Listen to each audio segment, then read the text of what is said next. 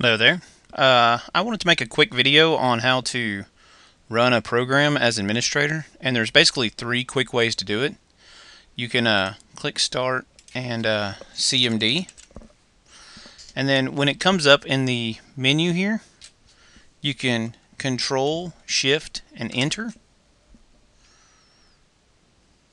and then down here you can see it's triggered the UAC so yes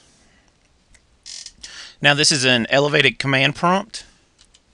Sometimes when you're running programs in the command prompt, it won't allow you to uh, do things because it triggers the UAC.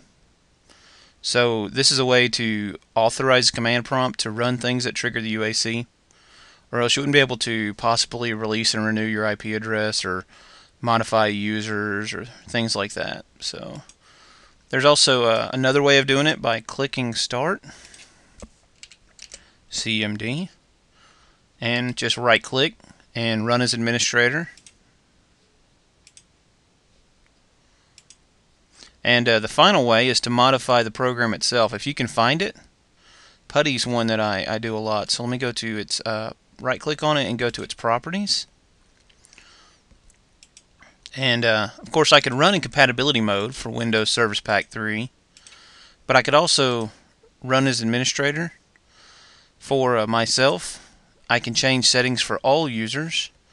So run this program as administrator for all users. And then OK and OK. So now when I open this program up, it'll trigger the UAC every time.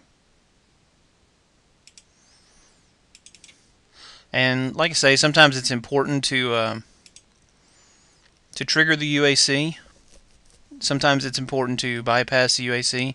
You of course can turn the UAC off by going into users. By changing user account control settings.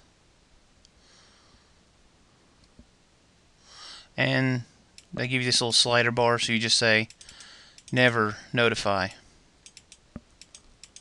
Actually I guess it won't let me do it. In Vista it'll let you turn it off.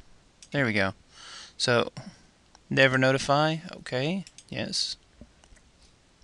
And then it wants to reboot. But uh, that's how you run items in Windows 7 as administrator. Or uh, Vista will do the same thing. They're getting better about things not triggering triggering the UAC, but sometimes it's still necessary.